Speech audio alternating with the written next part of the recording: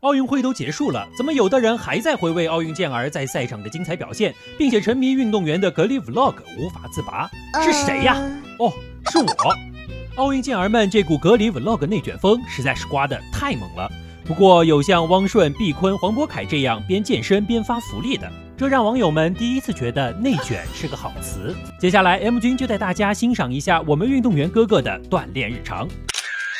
首先有请游泳队代表汪顺。俗话说得好啊，你永远可以相信中国游泳队的颜值和身材。一条弹力带练完腿了，练手，再来两组俯卧撑转体动作。这角度，既然这么不把网友当外人，那就多发几条吧，兄弟。让内卷持续升级的还有撑杆跳运动员黄渤凯，倒立、俯卧撑、仰卧起坐，训练完了还会玩下卡点变装。麻烦帅哥们都按这种标准卷起来，OK？奥运会拿下男子翻板铜牌的毕坤，有氧、无氧、动感单车之类的道具都用上了。不得不说，这身健康的巧克力肤色、紧致有力量的肌肉线条，实在是太帅了。最让我目瞪口呆的，还要数靠一招金鸡独立拿下一枚举重金牌的李发斌。不仅在床上完成仰卧起坐和俯卧撑等力量训练，还能腾空跳柜子，这轻盈毫不费力的姿态，国人会轻功实锤了。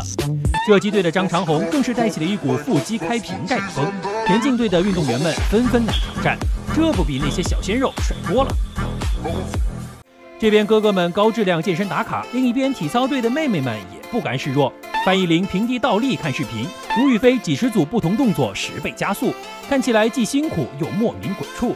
蹦床运动员的房间里都会有一个小型蹦床，朱雪莹、董栋每天健身完都会去蹦一蹦。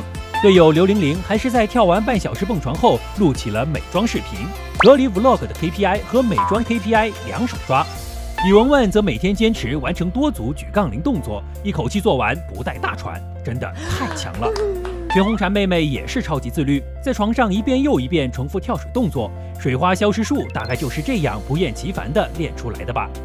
隔离 vlog 这个任务算是给陈清晨玩明白了，还拉上国乒队姐妹梦幻联动，同样会玩的还有女篮运动员杨舒雨，转场剪辑流畅的飞起，节奏又快又轻松，有点东西哈。不过在本次隔离 vlog，国乒队可以说是画风清奇，别的队卷成那样了，他们只求交上作业。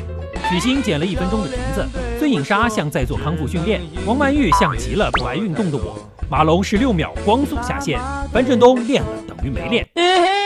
看了体能大佬们的隔离生活，网友们纷纷开始自省，哪怕我有十分之一的自律。本着看了等于练了的原则，网友们对这次的隔离 vlog 可以说是非常满意。运动员们能保持状态，网友们也学到了居家健身的 N 种方式，可以说是一举两得啊。隔离还没结束，请运动员们多多分享你们的日常哦。我向你们敬礼，思路。我是 M 君，爱我你就关注我，爱我你就转发我，都不干你就点个赞。